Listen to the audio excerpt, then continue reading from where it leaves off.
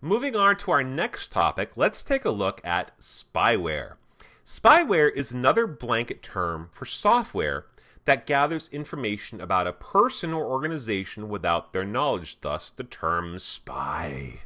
Okay, they're secretly gathering information about what you're doing. It might send that information without the consumer's consent. And there's different types of spyware out there. I want to take a look at two of the bigger ones that we need to be aware of.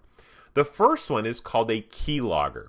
And a keylogger does just that, okay? Here are dirty mouse or dirty keyboard. Here is your keyboard, right? And it will actually keep track of the keys that you're typing. So why would we want to do that? Well, you use your keyboard to enter your username and password Remember that authentication chapter we taught or lessons we talked about?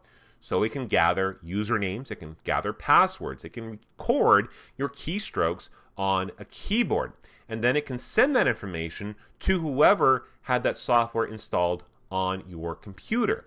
So this is some bad stuff. So in other words, let's say that your passwords um, passwords compromised let's say you're on Facebook or Twitter and somebody logs on as you, and then you go back and change your password, and sure enough, a day later, two days later, they're back on your account.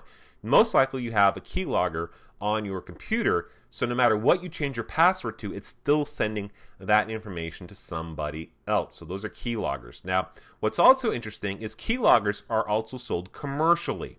Now, they're not called keyloggers as such, but if you've ever seen like spouse spying software, you know, you you see them on daytime television. You know, is your spouse cheating on you, and uh, is their significant other cheating on you? And you can install software on a computer to see what they're typing and see what their text messages are. That's a type of keylogger. And we also can buy it as parents to watch our children. So they sell these software programs that you can install on your kid's computer to monitor what they're doing. These are types of keyloggers. So the next one after keyloggers is adware. Adware is advertising supported software.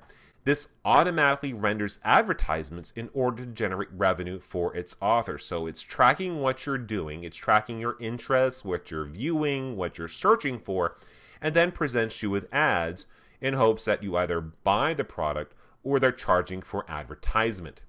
In the next video, we're going to take a look at some of the more classic signs of infection.